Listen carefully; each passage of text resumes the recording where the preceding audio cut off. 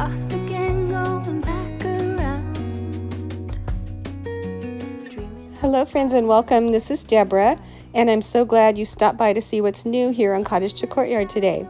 As you can see by the thumbnail photo, I'll be showing you several things, so I hope you'll stick around and see what it's all about. So let's get started. First, I'd like to say a huge thank you to Joyce, one of my wonderful subscribers, for blessing me with a beautiful gift of this blue and cream toile fabric. Joyce, that was so incredibly sweet and generous of you. Thank you, my friend, and I can't wait to show you what I'm doing with it. In the next photo coming up, I'm showing you all the fabric name and manufacturer up, up at the top in case any of you are interested.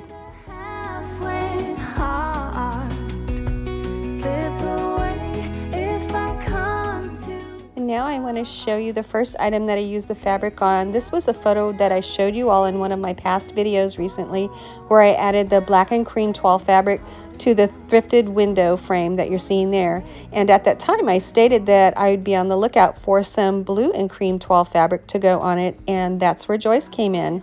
She heard me and sent me that wonderful gift. So now I'm going to show you all how it looks on the window frame, but first I decided to try it with the window turned sideways for a different look, and here it is.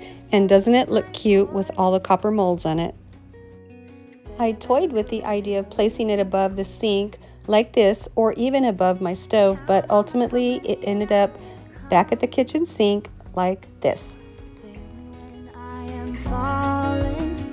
The next thing I did was switch the other black and cream toile fabric to the blue and cream toile fabric on my cubby shelf here at our coffee station and I love it. Okay guys, so I wanted to add a few touches of the fabric in my living room. So Hubs and I added the blue and cream toile to the armoire doors just behind the chicken wire and we both love the way it looks.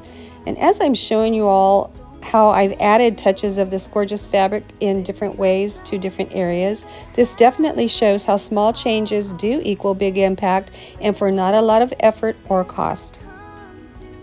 Okay friends, here's the last thing I've done so far with the fabric. I purchased a plain charger plate at Goodwill for 99 cents because you cannot find toile charger plates anywhere. So what I did was Mod Podge it on and voila, look how pretty it is and it was so easy. And Check this out and how gorgeous it is in a place setting.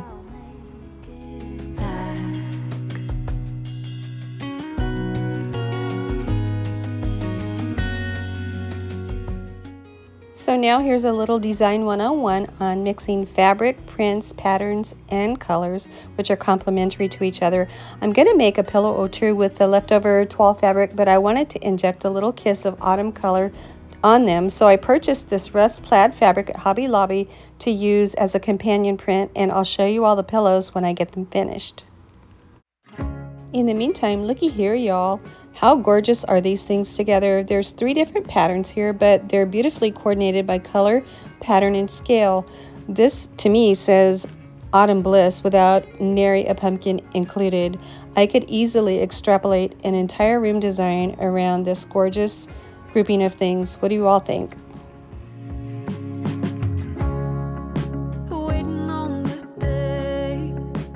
guys, moving on, let's get into the DIY part of this video that takes it from trash to treasure.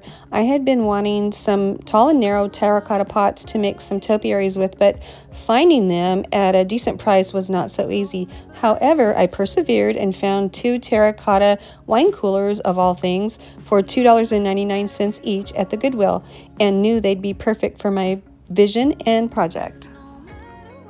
You all know how I am. I like my pots to be pretty. So I got out my stencils and you'll see how I use them in a moment. I also used ready mix cement patch mixed with a bit of paint to achieve the look. And here's how they look so far with the fleur-de-lis on them. And then I'll be adding the number five to the bottoms as you'll see in just a moment.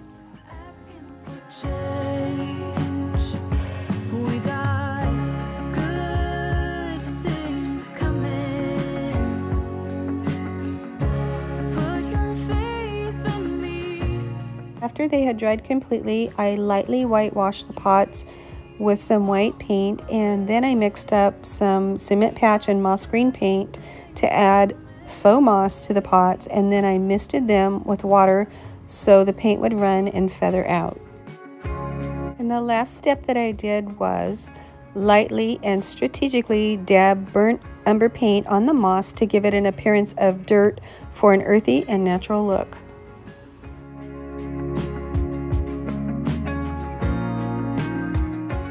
My friends, let's get into the making of these topiaries. I purchased two of each of these greenery stems at Hobby Lobby for 50% off. The long one is for the trunk of the topiary and the greenery bush is for the top of the topiary. Then I cut off 11 inches from the long stem to get the desired height I wanted for my topiaries. Also, there was no hot gluing required whatsoever. You just tuck the small greenery stem into the tendrils of the trunk and it holds it in perfectly in place. You'll see in just a moment. And here's how everything looks together at my kitchen sink area. The finished size of the topiaries is 29 inches tall and I love how they look.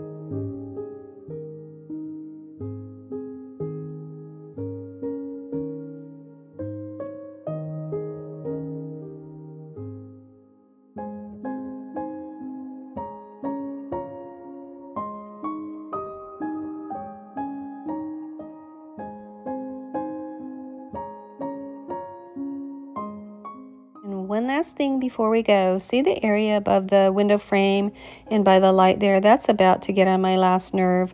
I have a little something in mind I'm going to do, and that will also be one of those small changes equal big impact things that I love to do and share with you all. So you'll have to come back next week and see what I'm doing. All right, sweet friends, with that said, this concludes our video for today, and I hope you enjoyed it and were inspired in some way. Thank you so much for spending time with me. I'll be back on Friday for more fun decorating here on Cottage to Courtyard. So until then, you all take care. Bye-bye, my lovelies.